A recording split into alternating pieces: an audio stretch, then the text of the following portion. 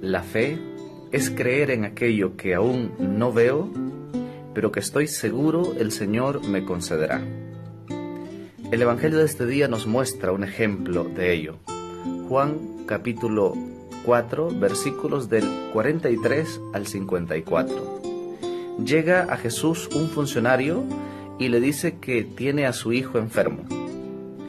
Y Jesús al inicio como que le sale un poco tajante, le dice, ustedes creen solo si ven signos y prodigios.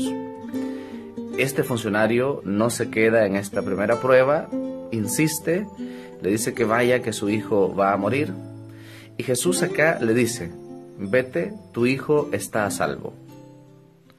Aparentemente aquí Jesús no le está dando ninguna prueba de eso que está pidiendo. Pero precisamente ahí el Señor quiere poner a prueba la fe de este funcionario. Y eso sucede muchas veces en nuestra vida. Llegamos a pedirle al Señor algo. Y ahí en la misma petición el Señor quiere poner a prueba nuestra fe. A veces nosotros queremos pruebas tangibles de eso que estamos pidiendo. Y el Señor nos dice, confía. El Señor nos dice, ten paciencia. El Señor nos dice, te estoy preparando algo mejor. Y es ahí donde se pone a prueba nuestra fe. Y este funcionario nos da un ejemplo de perseverancia en la oración. Porque a pesar de que la respuesta quizá no fue como él se le esperaba, este funcionario perseveró. Segundo, cuando el Señor le dice, tu hijo ya está curado, aunque no tenía evidencias de que así era, este hombre creyó. Es decir, aquí este hombre nos, está dando pruebas de perseverancia en la oración y de fe en estas promesas de Dios.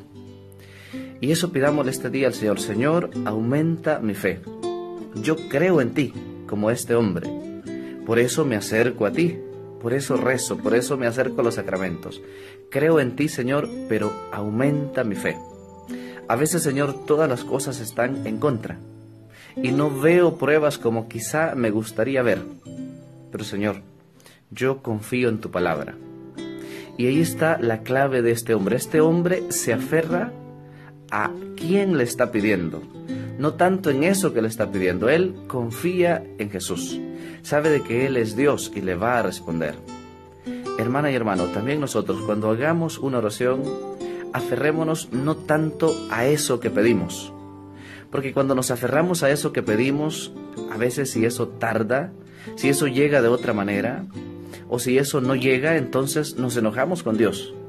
Pero si nos, si nos aferramos a quien le pedimos, a Jesús, entonces ahí, aunque tarde, aunque no llegue, aunque llegue de otra manera, seguiremos creyendo.